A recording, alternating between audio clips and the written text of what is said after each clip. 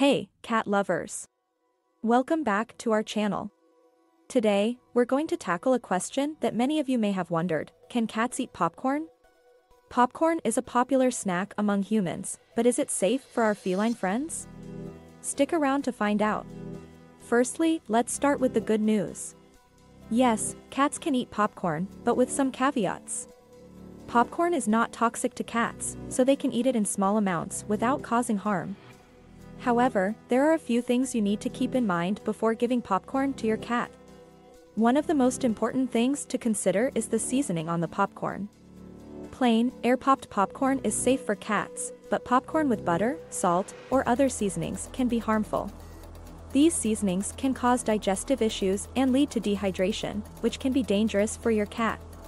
Another thing to consider is the size of the popcorn. Cats have small throats, so large pieces of popcorn can cause choking hazards. It's best to break up the popcorn into small, bite-sized pieces to avoid this risk. Lastly, popcorn is not a nutritionally complete food for cats. While it's okay to give them a few pieces as an occasional treat, it shouldn't be a regular part of their diet.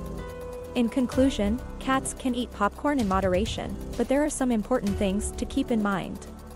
Always choose plain, air-popped popcorn without any seasoning, break it up into small pieces, and only give it to your cat as an occasional treat. We hope this video has answered your question, and as always, thanks for watching. If you have any more questions about cats, let us know in the comments below, and don't forget to subscribe to our channel for more videos like this one.